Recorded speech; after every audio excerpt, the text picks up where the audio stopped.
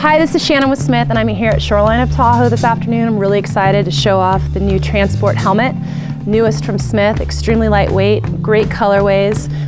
Happy to announce the new fit system by BOA that's going to make it extra snug on your head.